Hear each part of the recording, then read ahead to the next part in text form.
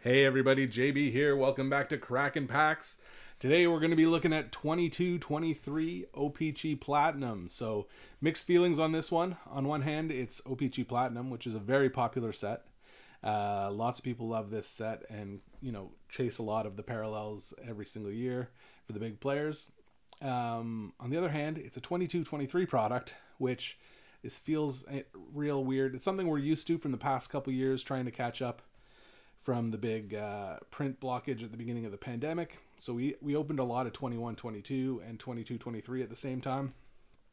Problem is now we're out with 23 24, which has Connor Bedard. And the Connor Bedard hunt is a lot more exciting than your average hockey year. So going back to 22 23 feels a little lackluster. There's still some players in here I'd love to get Slavkovsky, Jake Sanderson, uh, a few others. So it's not a total bust, but you just you don't have that anticipation of maybe opening a big Bedard. So we'll see how it feels going through it. That's my initial impression. Um, another thing about this set, so last year they made a bit of a change. They went to 12 cards per pack, 12 packs per box. So they've maintained that this year. Um, they did make one small change if you're a bulk buyer.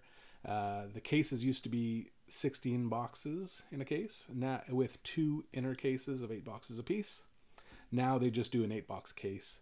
Uh, so it's, I mean, not a big change. You just buy two cases instead of one if you wanted the 16 boxes.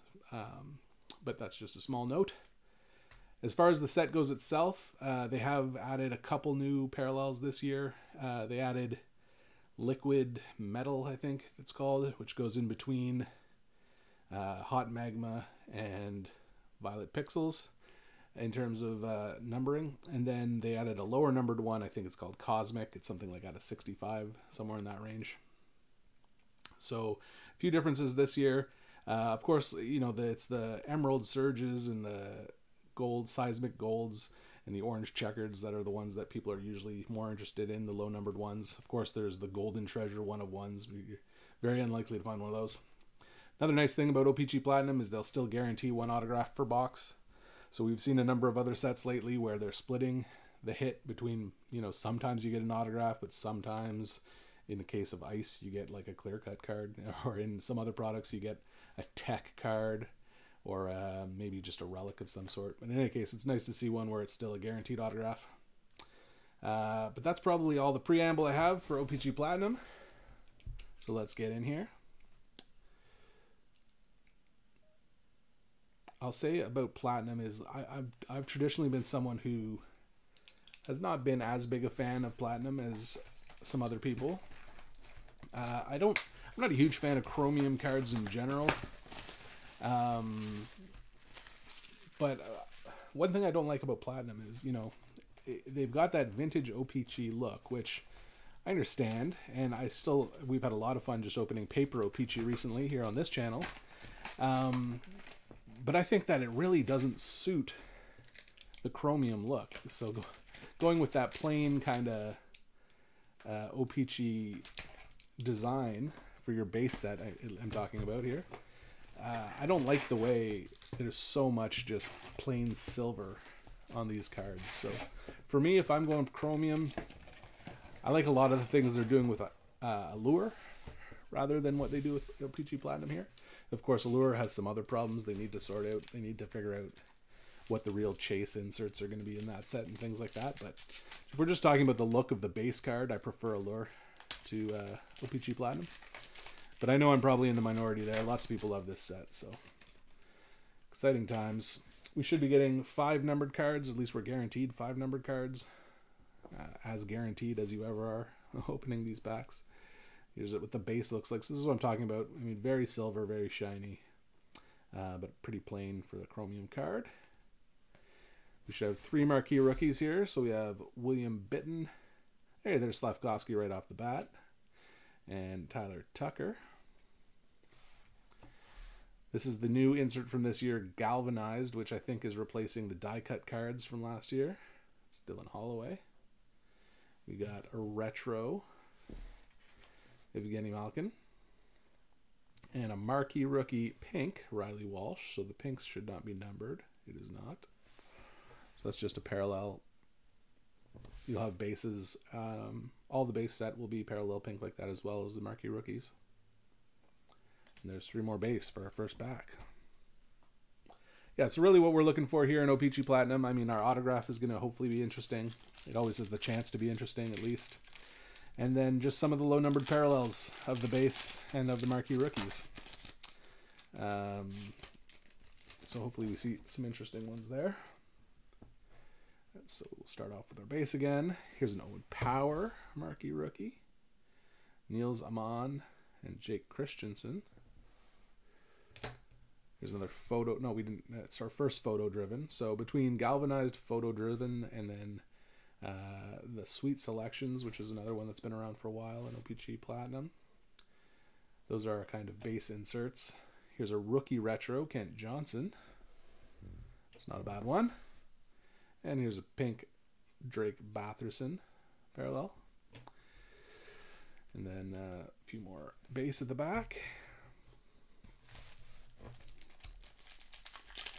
Yeah, it definitely feels funny opening these packs and knowing that you're not going to open a Connor Bedard right off the bat, though. It definitely, you know, not something you notice when there hasn't been a talent like this around for a while. You know, basically Sidney, uh, no, not Sidney Crosby. There was Connor McDavid since then. Uh, but going back to Connor McDavid's year, that was the last time you kind of had a player you were really, really hoping for like this. I mean, there was a lot of hype, I guess, two years ago about uh, Lafreniere, but it, it, still felt a little bit different. I, I mean, he definitely was hyped up huge. Don't get me wrong, but I don't think it was quite the same level. Uh, there's our three marquee rookies for this pack, and then we have a rainbow Thomas Bordeleau. So these retros come in parallels as well. See this one here does not say rainbow. This one says rainbow.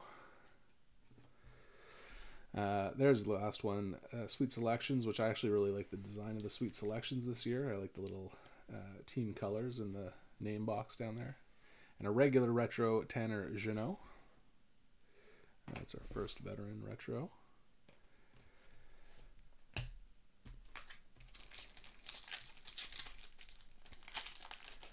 Anyway, yeah, so going back to Bedard, McDavid was around. A lot of hype, a lot of excitement that year. But then for several years after that, you know, you don't have a, a, a let's say generational talent like they call these guys these days. Um, and you just kind of get used to opening hockey sets where you're not expecting that. You're just kind of hoping for whoever the best rookies are that year. Uh, but now that we have Bedard again, it does feel a little funny going backwards to a previous set. Imama, Soderblom, and Olle Lycksell. Where you know you're not going to get, no matter what we open here today, it's not going to reach the same heights as the Connor Bedard cards we're going to open in 23 24. Photo driven Shane Wright. Here's another, oh, this is our first actual rainbow marquee rookie. We got Vladislav Kolyachonok.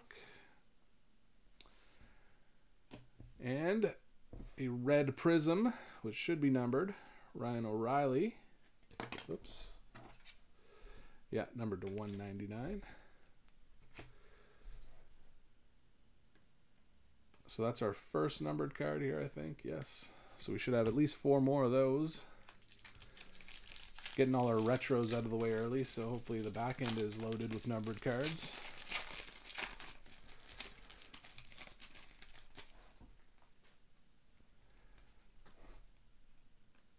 Looks like another red here.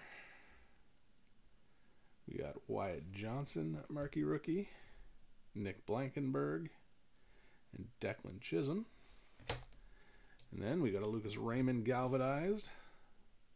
Looks like we got a marquee rookie rainbow of marquee of Marco Rossi. I like Marco Rossi, so I'm going to throw him up here. His former Ottawa 67. And then a Thomas Hertl red prism. Don't like seeing two red prisms in my box. I'd rather see a bunch of the higher numbered ones because then I don't know if this is accurate, but I always feel like if I get a bunch of the higher numbered ones, then there's a higher chance that the last one will be a lower numbered one. Whereas it seems like if you get a bunch of kind of middle numbered ones, like the 199 on the red prism, you just get a bunch of middle numbered ones. And I'd rather just have a single, very low numbered one. But that's not backed up by any data. That's just my gut feeling. So who knows? Maybe I'm completely wrong about that. Here's a Jack Quinn marquee rookie, another former Ottawa 67. Nick Perbix and Hunter Drew. We got a sweet selection Matt Boldy. We've got a rainbow Jacob Markstrom. And then we got a hot magma uh, Nikolaj Ehlers. Just trying to figure out if I already had a rainbow, but my only other rainbow was a rookie, so I guess we'll start a new pile there. So yeah, these ones are pretty high. Yeah, 499 on the hot magma. So might as well not even have a number at that point, in my opinion. I think if you if you're numbering it to more than 100, I think it's completely worthless to have a number on it. That's the way I see it. In terms of cards that I want to collect, I might go for a higher numbered card if I just like the look of a card. But in that case, I'm not really going for it because of its rarity. I'm just going for it because I like the way it looks.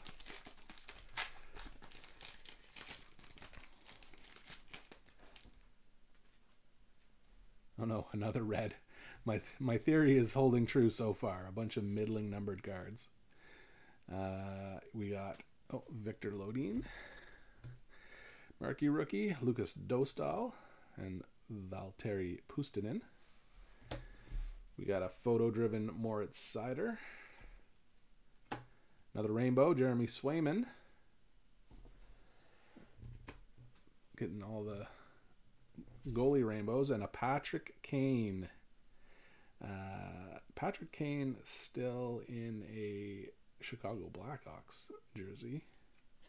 Was it the, just at the deadline where he went to the Rangers last year? That's possible. So maybe it's fine that he's in a Blackhawks jersey. Three red prisms. Not in love with that.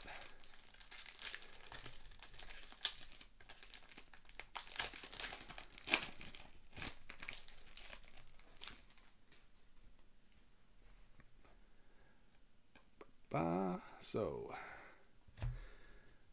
Nick Cicek, Kent Johnson, Reilly Walsh. There's our marquee rookies for this pack. Photo driven Matty Beniers. Michael Bunting. Ooh, and no, that's a retro, but it is a nice parallel retro, I think, here. So let's see what we got. Blackhawks. That's not exciting last year, right? That's only exciting this year. That at the back. Get these base out of the way. Is that a no? That's a regular helmet on top. It's Patrick Kane again. So there's the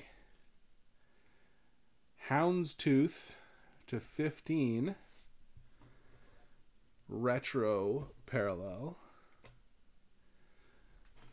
of Patty Kane. Okay, so that is the type of numbering I'm looking for. Out of 15 is real nice. I don't know about the hand, houndstooth as a theme. Oh, this Michael Bunting was a rainbow that I was using to reveal him. Yeah, I don't know about the hound's tooth, but it looks kind of cool.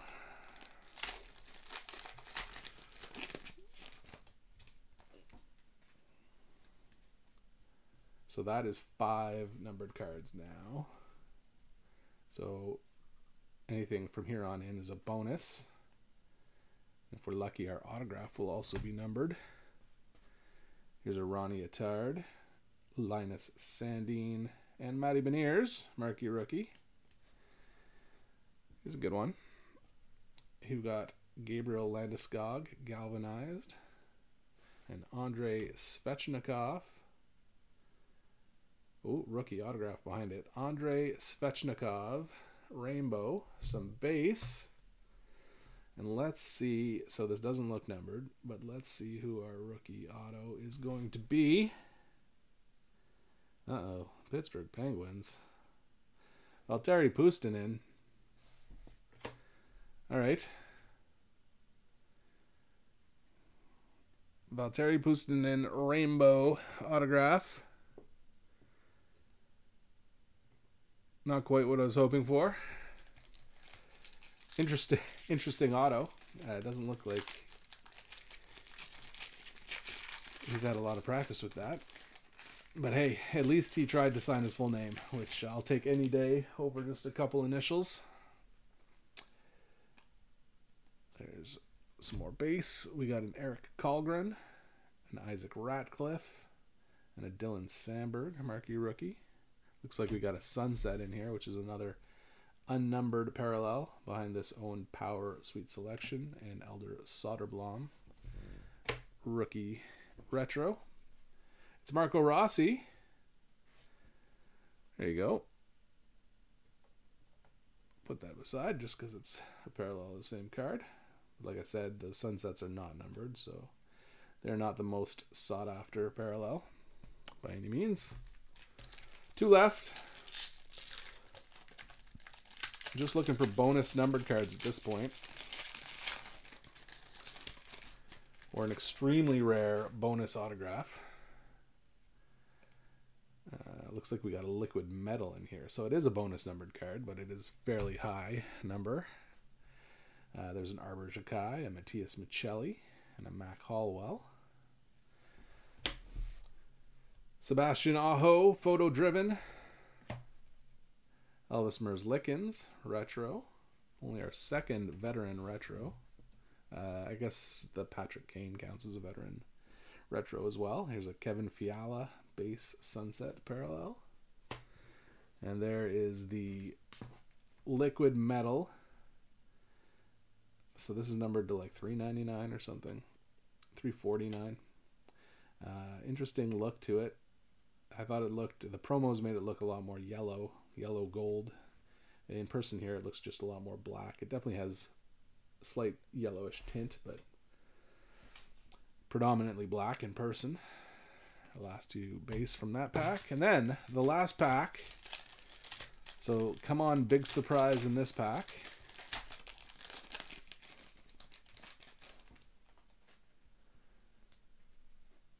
Base, base, base. We got Linus Het Hogberg, marquee rookie. Dylan Guenther, another sweet marquee rookie. And Samuel Fagemo. We got a Marco Rossi sweet selection. A uh, Nathan MacKinnon retro, and then another sunset. Adrian Kempe.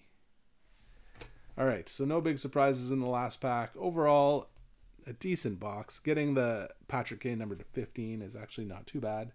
Uh, the auto is a bit of a bust. We got a bunch of good uh, marquee rookies actually, but um, the parallels are, are, definitely the more sought after versions of these marquee rookies than just the base version. Uh, but we did get a rainbow Marco Rossi and then a non-numbered sunset Marco Rossi. Anyway, that is OPC Platinum for this year. Uh, overall, you know what? I actually kind of liked it a little bit more, I think, than I have in the past few years. Uh, maybe it's just growing on me. I don't know.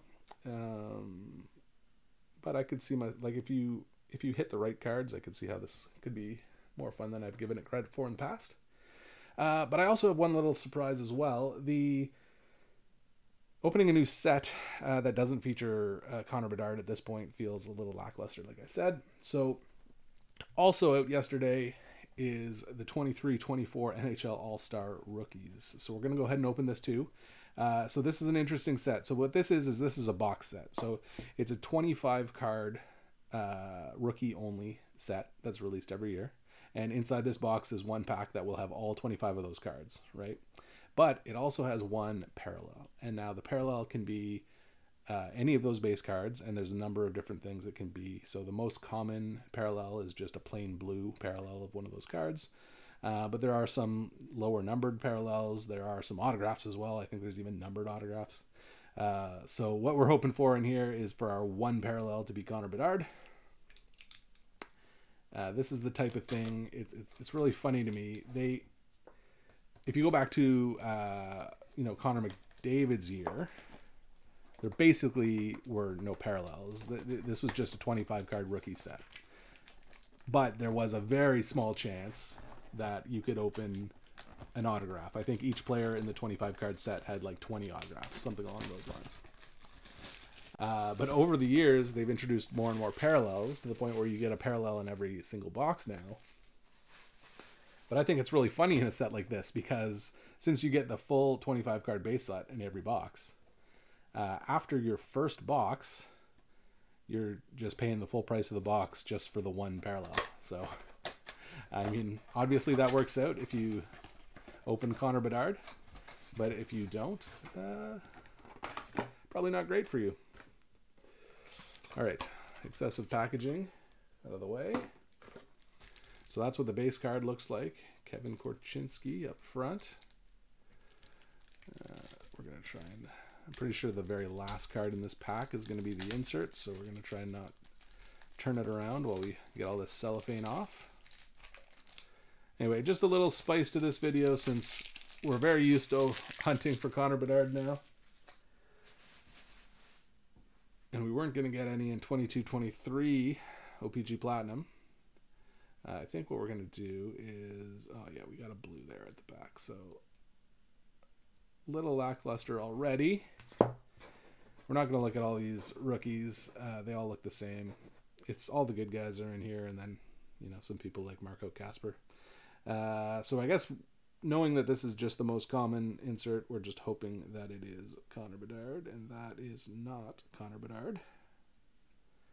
But it is Adam Fantilli. So there you go. So, I mean, there's only 25 rookies in this set, right? So pretty pretty good chance that if it's not Connor Bedard, it's going to be someone decent. Uh, I think Bedard is really the only reason to get excited about this set, though, and probably you don't want to buy more than one box because uh, you get your full base set there anyway. Um, but I got a little bit of a confession to make as well while we're here. So I actually did all of this exact same thing yesterday. Uh, I recorded the whole video, a box of OPC Platinum and a box of All Star rookies. And then as I was going to edit it to upload it to YouTube, I realized that my microphone had been off this whole time and it didn't get any ad audio. So I considered just uh, you know redubbing over top of the video, but I thought you know what, forget it. Let's just re-roll.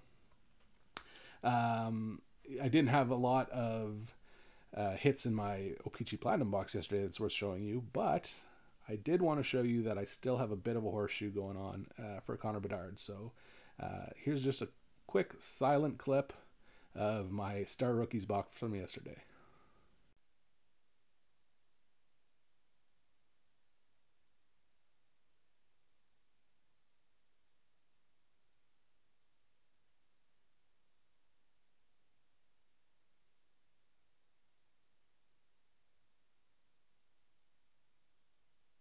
All right, so there you go. I still can pull them. Hopefully next week Series 2 is here, and uh, that luck continues because I'll be looking for a bunch of Bedard in, uh, in the case of that that I'm going to go through. All right, everyone, if you enjoyed this video, if you like seeing hockey sets reviewed before you decide whether or not you want to spend your own money on them, then please like this video and subscribe to the channel. You will be notified every time a new product comes out because I will be sure to review it. Uh, next time I'm back should be next week with Upper Deck Series 2 and hopefully lots of Connor Bedard. All right, everyone. Until next time, thanks for watching.